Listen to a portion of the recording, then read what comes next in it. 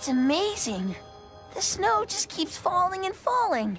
I'm glad you're staying here with us, Dad. Yeah, me too, buddy. It's way too cold to stay in the van during this blizzard.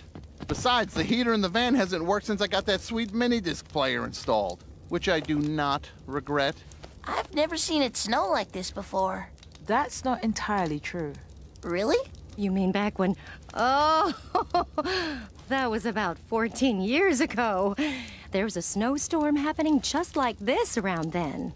14 years.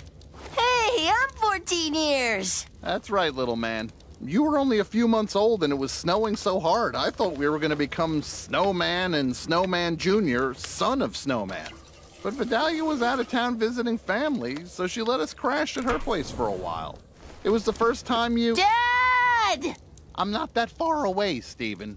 Don't forget our arrangement. Good gravy. That's what you get for raising me to love music. Luckily, I have a song for this story already.